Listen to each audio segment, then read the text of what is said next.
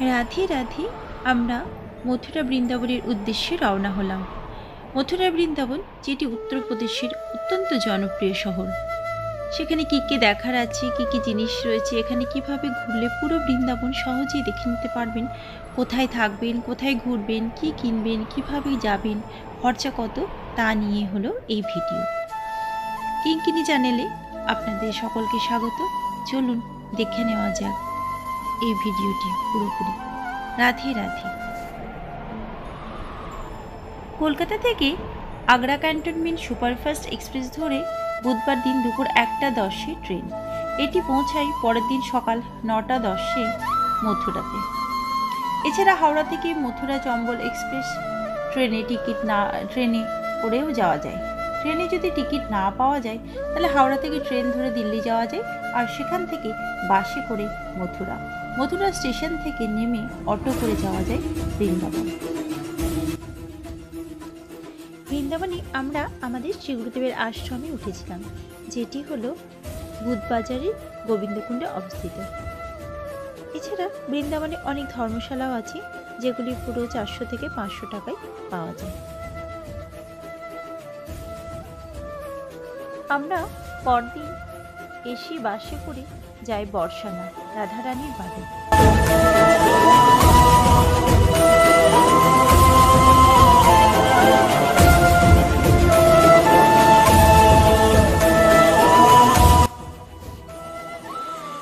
বাস থেকে নেমে আমরা একটা অটো করে নিয়ে প্রথমে যাই রাধাকুণ্ড।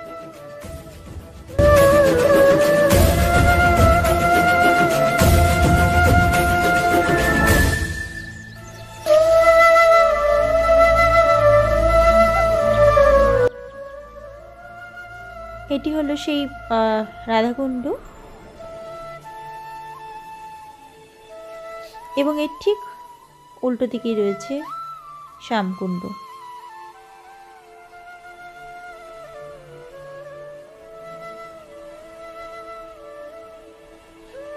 জান্নবা মাতার ওখানে আমরা দুজনে নৃত্য করলাম। রাধে রাধে।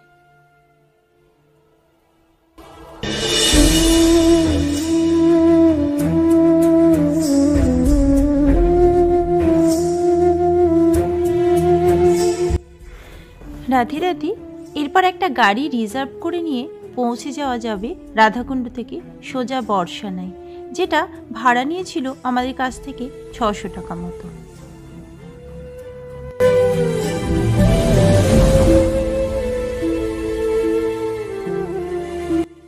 বর্ষানায় অত্যন্ত সুস্বাদু হলো লস্যি, তাই আমরাও একটা করে লস্যি খেয়ে নিই।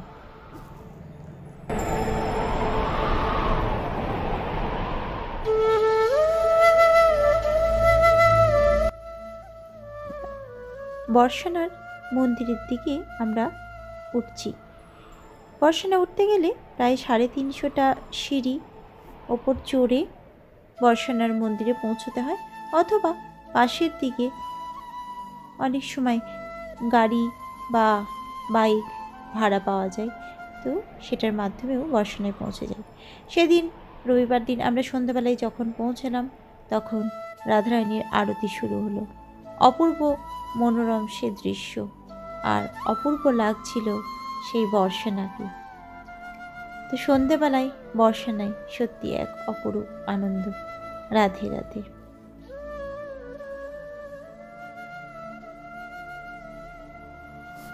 বর্ষানা থেকে ফিরে সেদিনকে রাত্রে আমরা বিশ্রাম নিলাম এবং পরের দিন একটা টোটো রিজার্ভ করে নিলাম, যেটা চারশো টাকা নিয়েছিল।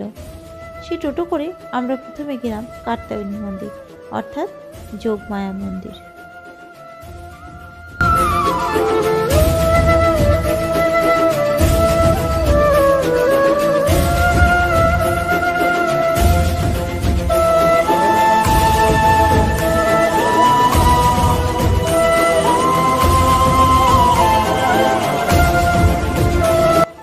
সেখান থেকে চলে এলাম আমরা কালিয়ানক দমনে যেখানে কালিয়াকে দমন করেছিলেন ভগবান শ্রীকৃষ্ণ।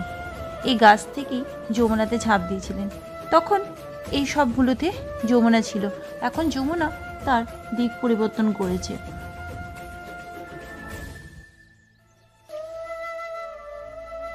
কালিয়ানাগ দমন থেকে মদনমোহন মন্দির মাত্র পায়ে হেঁটে পাঁচ মিনিট। তো আমরা পায়ে হেঁটেই গেলাম মদনমোহন মন্দির। মদনমোহন মন্দিরটি তৈরি হয় খ্রিস্টীয় ষোলো শতকে। এই তৈরি নিয়ে মতভেদ আছে। কেউ বলেন রামচন্দ্রের পুত্র গুণানন্দ তৈরি করেছিলেন এই মন্দিরটি, আবার কেউ কেউ বলেন মুলতানের রাজা কাপুর রামদাস তৈরি করেছিলেন এই মন্দিরটি। ঔরঙ্গজেবের রাজত্বকালে এই মন্দিরের আদি মদনমোহন মূর্তিটি নিরাপত্তাজনিত কারণে রাজস্থানের কারাগুলিতে স্থানান্তরিত করা হয়। বর্তমানে এই মন্দিরের মূল বিগ্রহের একটি প্রতিমূর্তি পূজিত হয়। অপূর্ব কারুকার্য করা আছে এই মন্দিরটিতে। এরপর আমরা অটো করে চলে এলাম চিরঘাটে, যেখানে শ্রীকৃষ্ণ গোপীদেরকে নিয়ে বস্ত্রহরণ লীলা করেছিলেন। রাধে রাধে। সেদিন সন্ধে হয়ে যায় আর আমরা সেখান থেকে শ্রী গুরুদেবের আশ্রমে গিয়ে প্রসাদ পেয়ে বিশ্রাম নিই। আবার জার্নি শুরু করি পরের দিন সকালে। পরের দিনকে আমরা আবার একটি অটো রিজার্ভ করে নিই, যেটা সারাদিনে চারশো টাকা নেই তো সেই অটো রিজার্ভ করে আমরা চলে আসি বাকে বিহারি মন্দিরে। বাকে বিহারী শ্রীকৃষ্ণ এবং শ্রী রাধারানীর মিলিত রূপ। বাকে বিহারী আগে নিধিবনে পুজো করা হতো। পরবর্তীকালে আঠারোশো চৌষট্টি খ্রিস্টাব্দে বাকে বিহারী মন্দির নির্মিত হয়। বাকে বিহারী মূর্তি এই মন্দিরে নতুন করে স্থানান্তরিত করা হয়। বাকে বিহারীর দিব্য বিগ্রহ কারও হাতে তৈরি নয়। এক, ভগবান স্বয়ং নিধিবন থেকে প্রকট হয়েছিলেন স্বামী হরিদাসের ভক্তিতে। বাকেবিহারী মন্দিরটি প্রতিষ্ঠা করেছিলেন স্বামী হরিদাস। এরপর আবার অটো করে চলে এলাম আমরা রংজি মন্দির। এটা একটা খুব বড় মন্দির। যে মন্দিরটি ঘুরে দেখতে গেলে বেশ কিছুটা সময় লাগবে। তাই একটু সময় নিয়ে এই মন্দিরটা আসবেন। এই মন্দিরটি বিখ্যাত সোনার তালগাছ মন্দির নামে। এটি আঠারোশো একান্ন সালে ভগবান রঙ্গনাথকে উৎসর্গ করে করা হয়েছে, যার অপর নাম হচ্ছে রংজি। আঠারোশো পঁয়তাল্লিশ সালে এই মন্দিরটি শুরু হয় এবং ছ বছর ধরে এই মন্দিরটি তৈরি করা হয়। এখানে ভগবান বিষ্ণু শেষনাগের উপর বিশ্রাম নিচ্ছেন। দক্ষিণ ভারতীয় ব্রাহ্মণরা এখানে হচ্ছে প্রধান পুরোহিত। এই মন্দিরটি সম্পর্কে পুরো ডিটেলসে বলা আছে আমাদেরই আর একটি ভিডিওতে, যেটাতে সোনার তাল গাছ বলে করা আছে। তো সেখান থেকে আপনারা সমস্ত কিছু দেখে নেবেন, পুরো ডিটেলস পেয়ে যাবেন। এরপরেই চলে এলাম আমরা বংশীবট, অর্থাৎ যেখানে রাধাকৃষ্ণ রাসলীলা করেছিলেন। তো আমরা সেখানেই অটো করে আবার চলে এলাম।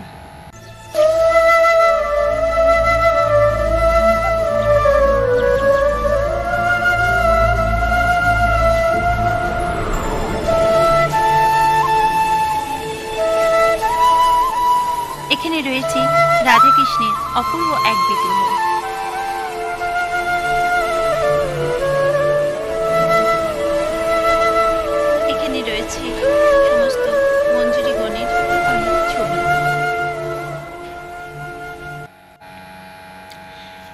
এই রাসে অংশগ্রহণ করতে এসেছিলেন গোপেশ্বর মহাদেব। আর তিনি যখনই প্রবেশ করেছিলেন রাস বন্ধ হয়ে গেছিল। তার কারণ হচ্ছে রাসের শ্রীকৃষ্ণ ছাড়া কোনো পুরুষের প্রবেশ নিষিদ্ধ ছিল। তাই লুকিয়ে মহাদেব রাসে প্রবেশ করলেও সেই রাস বন্ধ হয়ে যায়। তাই এখানে গোপেশ্বর মহাদেশ, মহাদেবের একটি গোপী রূপে ছবি ও একটি বিগ্রহ রয়েছে।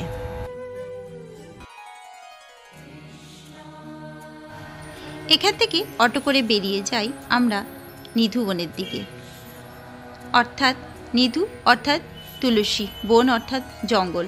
অর্থাৎ তুলসী দিয়ে ঘেরা যেটি বন, সেটাই হচ্ছে নিধু বন।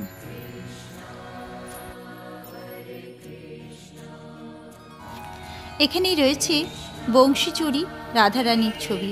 অর্থাৎ রাধারানী শ্রীকৃষ্ণের বাসি চুরি করেছিলেন। তাই এখানে বংশীচরি রাধারানীর বিগ্রহ রয়েছে।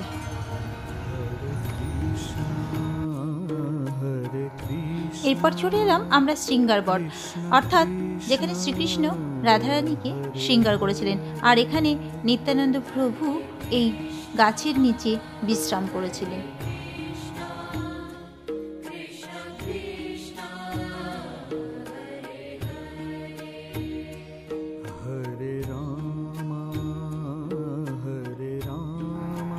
সেখান থেকে আমরা চলে এলাম রাধা দামোদরজি মন্দিরে হরে হরে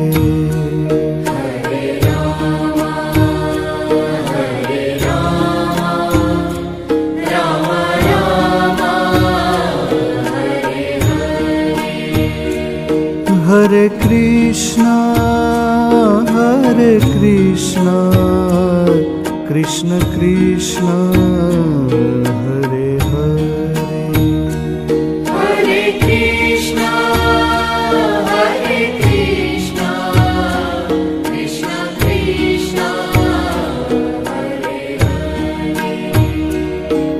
হরে রাম হরে রাম রাম রাম, হরে হরে। রাধে রাধে, এরপর আমরা একটা অটো বুক করে চলে আসি প্রেম মন্দিরে। প্রেম মন্দিরটি তৈরি করেছেন পঞ্চম গুরু কৃপালু মহারাজ। অপূর্ব সুন্দর এই প্রেম মন্দিরটি। যেটা দিনের বেলা পুরো শুভ্র অর্থাৎ সাদা দেখায়। আর রাত্রিবেলা এখানে এমন সুন্দরভাবে আলোকসজ্জা করা আছে যে প্রেম মন্দিরটি কখনো লাল দেখায়, কখনো সাদা, কখনো সোনালি, কখনো সবুজ, কখনো বা নীলাভ। চারিদিকে রাধাকৃষ্ণের যে অপূর্ব লীলা সেই লীলাগুলো খুব সুন্দর করে তুলে ধরা আছে। তো যখনই বৃন্দাবন আসা হবে, এই মন্দিরটি দর্শন করে সত্যি ভীষণ ভীষণ ভালো লাগবে।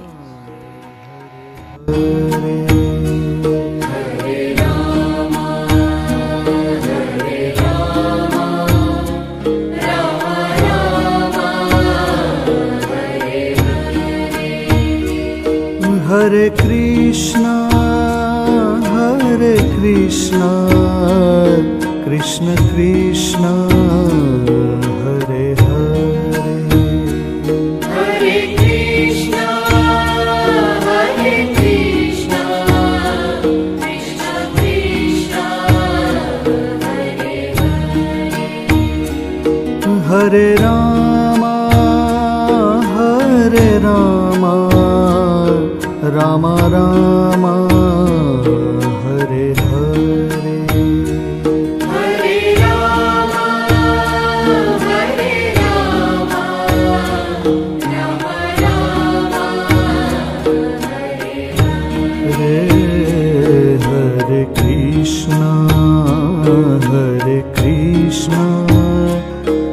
कृष्ण कृष्ण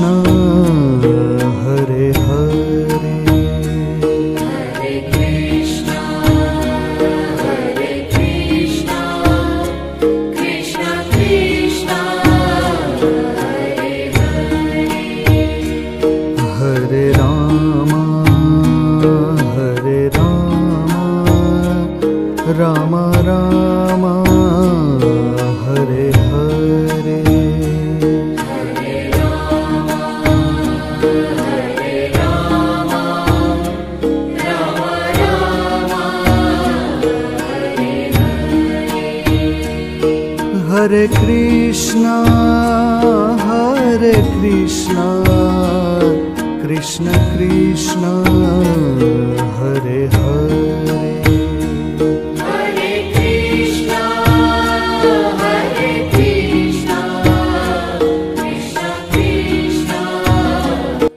এখানে শ্রীকৃষ্ণের বিভিন্ন লীলাগুলো খুব সুন্দর করে ফুটিয়ে তোলা হয়েছে যেমন বাল্যলীলা গিরি গোবর্ধন লীলা এবং রাসলীলা। এখানে সমস্ত সখাদের নিয়ে শ্রীকৃষ্ণ বসে আছেন। এরপর এখানে গোপীদের নিয়ে রাধাকৃষ্ণ যে রাসলীলা করেছিলেন, সেই রাসলীলাটা খুব সুন্দর করে ফোটানো আছে।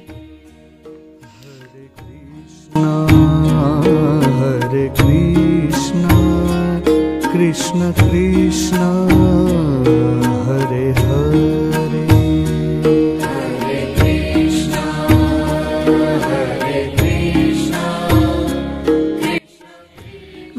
বৃন্দাবনবাসী যখন ইন্দ্রর প্রকোপে সাত দিন ধরে ঝড় বৃষ্টি জলে বন্যাতে যখন পরিশ্রান্ত, সেই সময় শ্রীকৃষ্ণ বাঁ হাতের আঙুলে করে এই গিরি উঠিয়েছিলেন গিরি পর্বত এবং তার নিচে আশ্রয় নিয়েছিলেন সমস্ত বৃন্দাবনবাসী।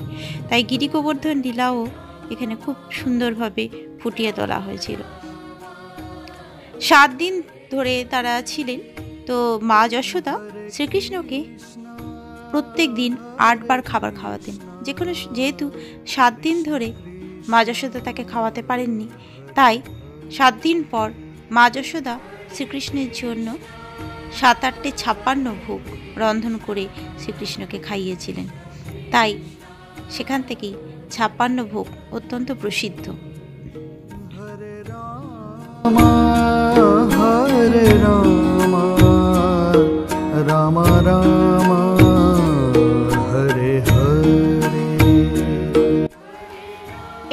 আমরা সোজা চলে আসি মানসরোবর, যেটা বৃন্দাবন থেকে দূরত্ব হচ্ছে চোদ্দ কিলোমিটার।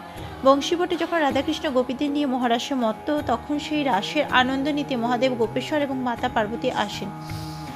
মাতা পার্বতী রাসে প্রবেশ করেন, কিন্তু সেই রাসের দুজন দ্বাররক্ষী ললিতা বিশাখা মহাদেবকে আটকে দেন, কারণ রাসে পুরুষের প্রবেশ নিষিদ্ধ। কিন্তু সেই রাসে অংশগ্রহণ করতে চান গোপেশ্বর মহাদেব, তাই সখীদের উপায় জিজ্ঞাসা করলে তারা বলেন যমুনাতে স্নান করতে। যমুনা দেবীর কাছ থেকে গোপী রূপ চেয়ে নিতে। গোপেশ্বর মহাদেব যমুনাতে স্নান করে গোপী হয়ে রাশে প্রবেশ করলে শ্রীকৃষ্ণ তাকে গোপীশ্বর বলে আদর করে সিংহাসনে বসান। রাধারানীর অভিমান হয়, নতুন এক গোপীকে গোপীশ্বর মানে গোপীদের ঈশ্বর বলেন শ্রীকৃষ্ণ। আবার তাকে সিংহাসনেও বসান। অভিমান করে রাস ছেড়ে চলে আসেন রাধারানী। আর যেখানে রাধারানী নেই, রাসও বন্ধ হয়ে যায়। শ্রীকৃষ্ণ তখন শ্রীরাধিকে সারি শ্রীরাধিকে বলে ডাকতে ডাকতে রাধারানীর কাছে এসে পৌঁছান। রাধারানী মান ভাঙানোর জন্য পা ধরেন আর গোপীশ্বর দেবীর ঘর সমস্ত ঘটনা বলেন এবং শ্রীরাধিকাকে সেখান থেকে নিয়ে যেতে চান। তখন শ্রীরাধিকে বলেন, তিনি বড় ক্লান্ত, তিনি আর যেতে পারবেন না। শ্রীকৃষ্ণ তখন শ্রীরাধিকে কাঁধে করে নিয়ে যেতে চান শ্রীরাধিকে তখন যেতে উদ্যত হলে এবং তিনি, শ্রীরাধিকে এটা ভেবেছিলেন যে যিনি হচ্ছেন এই ত্রিজগতের অতি, তিনি তাকে কাঁধে করে নিয়ে যাচ্ছেন। এইভাবে তার মনে যখন অহংকার তৈরি হয়, তখন শ্রীকৃষ্ণ অন্তর্ধান হয়ে যান। আর শ্রীকৃষ্ণকে দেখতে না পেয়ে পাগলের মতো শ্রীরাধিকে কাঁদতে থাকেন। আর তার চোখের জলে তৈরি হয় এই মান সরোবর। রাধে রাধে। মানসরোবর থেকে আবার আমরা অটো করে চলে গেলাম ফান্ডিবন যেখানে রাধাকৃষ্ণের বিবাহ হয়েছিল। আর এই বিবাহ দিয়েছিলেন স্বয়ং ব্রহ্মাদেব.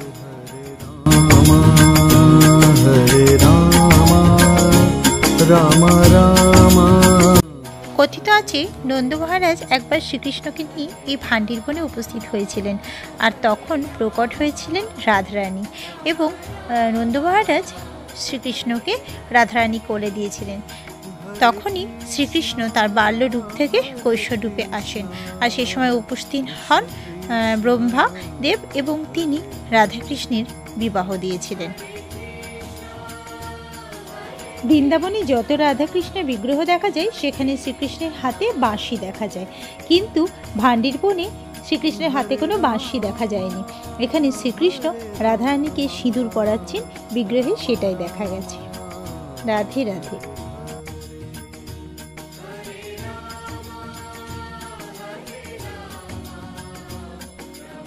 ভান্ডিরবনের যে কূপটি দেখা যায়, সে কূপটিতে প্রায় চৌরাশি কোটি তীর্থের জল এখানে একসঙ্গে সম্মিলিত হয়েছে।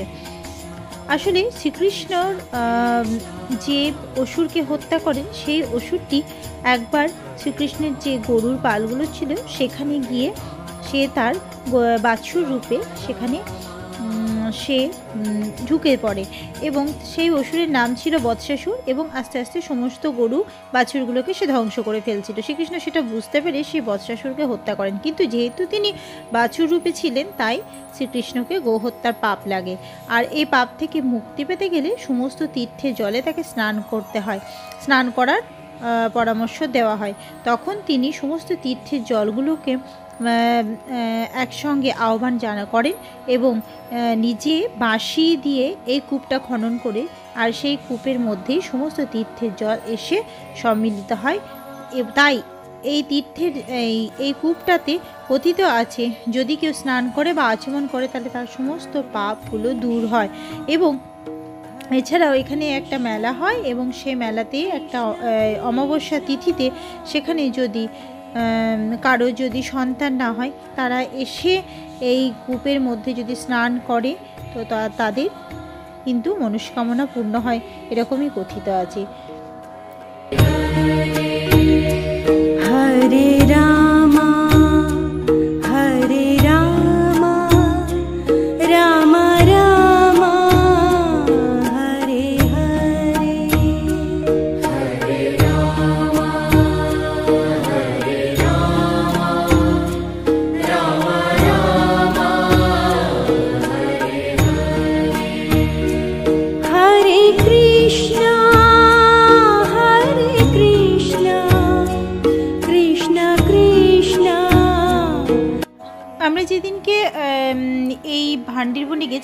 সেদিনকে একজন রাধাকৃষ্ণের বিবাহ দিচ্ছিলেন।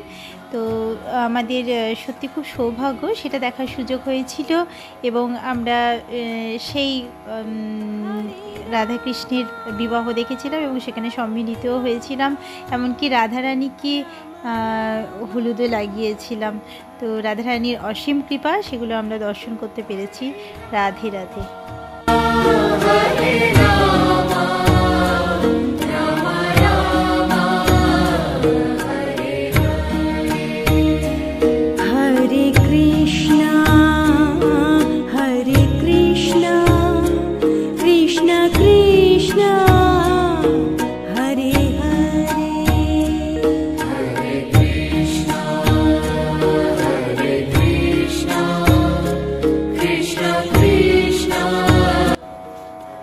ওখান থেকে আমরা চলে যাই বংশীবটে যেখানে শ্রীকৃষ্ণ বাঁশি বাজিয়েছিলেন। তো এখানে যে গাছগুলো আছে কথিত আছে যদি সে সেই গাছগুলোতে কান লাগানো যায় এবং খুব মন দিয়ে শোনা যায় তাহলে সেই গাছের প্রত্যেকটি গাছ থেকে কিন্তু এখনও সে বাঁশির শব্দ শোনা যায়। এখানে শ্রীকৃষ্ণ বাঁশি বাজাতেন।